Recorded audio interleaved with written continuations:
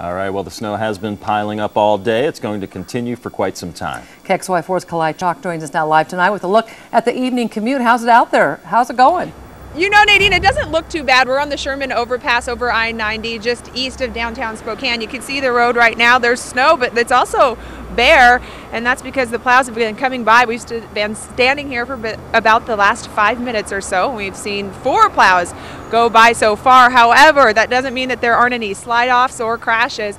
Spokane County Sheriff's Office is telling us right now that there have been 91 crashes since 8 o'clock this morning. 23 of those crashes have come down in just the last hour and a half. So it's definitely important that people take their time as they head out tonight.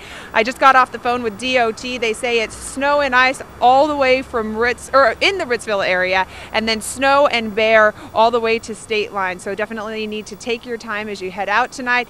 And like the DOT says, ice and snow, keep it slow. Definitely a good reminder, Mike and Nadine.